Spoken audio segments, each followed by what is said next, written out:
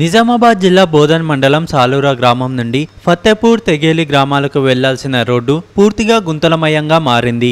దీంతో వాహనదారులు విద్యార్థులు ఉద్యోగులు తీవ్ర ఇబ్బందులు ఎదుర్కొంటున్నారు. తరచూ ప్రమాదాలు జరుగుతున్నాయని ఆటో డ్రైవర్ తెలిపారు. తక్షణమే పై అధికారులు రోడ్డు మరమ్మత్తు పనులను చేపట్టాలని గ్రామ ప్రజలు వాహనదారులు మీడియా ద్వారా కోరుతున్నారు.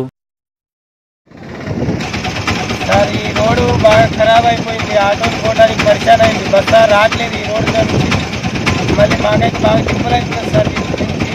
ఈ రోడ్ ఏం చేయాలని ఏ అధికారులు కూడా పట్టించుకుంటారు ఈ రోడ్ గురించి కొంచెం చేస్తే మంచిగా ఉంటుందని మా యొక్క మరి మేము చేయాలని మాట్లాడు. ఇక్కడ సాలు ఖరాబే ఉంది రోడ్డు. బాగా ఈ గలీజ్ అయిపోయింది రోడ్డు. బాగా ఆటోలు ఇబ్బంది అవుతున్నది ఆటోలు కానీ బస్సు రావట్లేదు. రోడ్డు వల్ల గుంతల వల్ల నుంచి అసలు ఆటో ఎక్కట్లేదు. ఏ మనుషులకి ఇబ్బంది అయినా ఆటోలు పడే పరిస్థితి ఈ రోడ్డుకి ఏ అధికారి కూడా పట్టించుకోవట్లేదు.